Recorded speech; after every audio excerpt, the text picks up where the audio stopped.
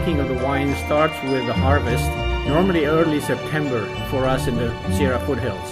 The grapes have been determined to be at the right sugar level, uh, the flavors are there, and the winemaker has decided that it's time to pick the grapes.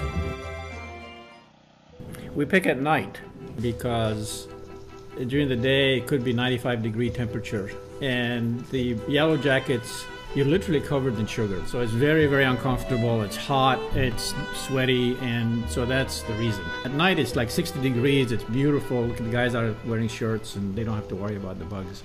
The other reason is we ship a lot of grapes to other wineries uh, that have to crush the grapes. The grapes have to be crushed the same day. The sooner the better after you pick them. And so if they're gonna, we're gonna crush at 8 o'clock or 9 o'clock today, these grapes or we ship them to another customer and they like to get them fresh. Uh, what we have here is two people making sure that nothing gets in that bin that shouldn't be in there to make wine. Like they pick out any leaves, any bugs, anything that looks like it's not going to be good for the wine. That is a very, very important step. Uh, and that's why we, we get quality grapes. That's why we make good wine.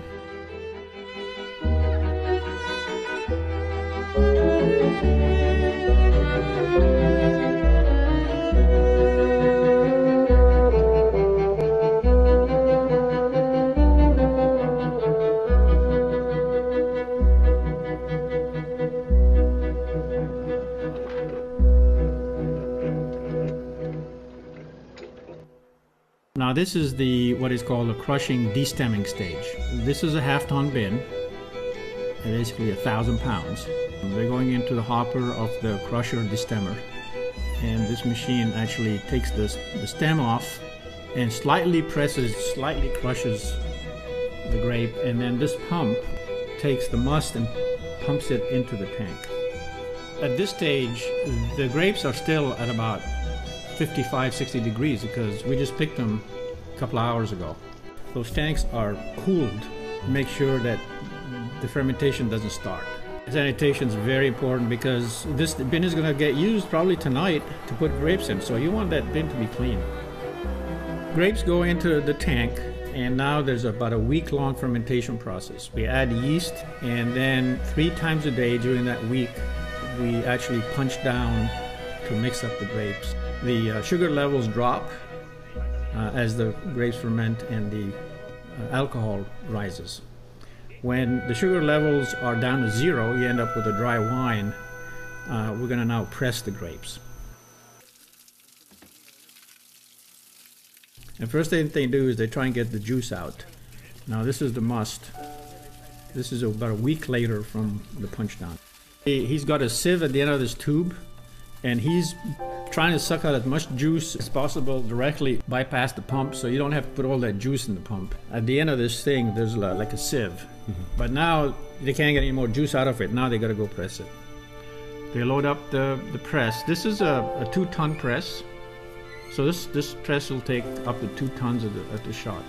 We've pressed 90 tons. By. The way this works is the press actually a balloon inside and it pushes against uh, a sieve and the juice comes out uh, and then it deflates the, the balloon turns over every 15 minutes or so and again inflates the balloon pushes against the sieve. So as it turns it mixes up the, the must and presses again mixes up the must and presses again and after an hour and a half we get most of the juice out this is wine there's no sugar left, no sweetness left to it. It's wine. It's actually 14, 15% alcohol, but it but it has not aged.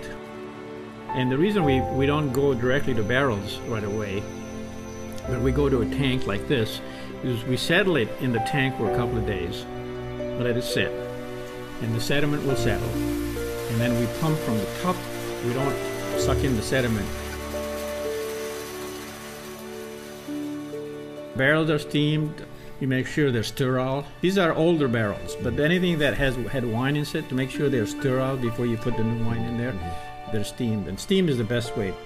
Uh, on a vintage like well, this year was 200 barrels or 200 some barrels, about $62,000 worth of new barrels. So about a third of the barrels every year that we use are brand new. A third are about a year or two years old, and a third are older. And barrels actually add not only oak, uh, not only do they age the wine, but they also add all kinds of spices, all kinds, depending on the barrels, they'll add flavors to the wine. A lot of the flavors you get in the wine actually from the barrels. So barreling is a big deal. Barreling to a winemaker is a lot like spices and fresh ingredients to a chef.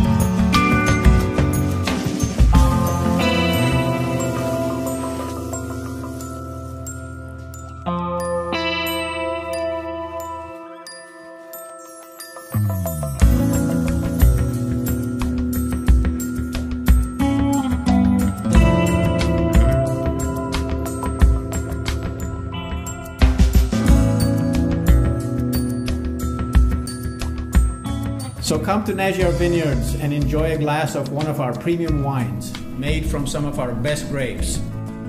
And as they say in Italian, salute from our family to yours.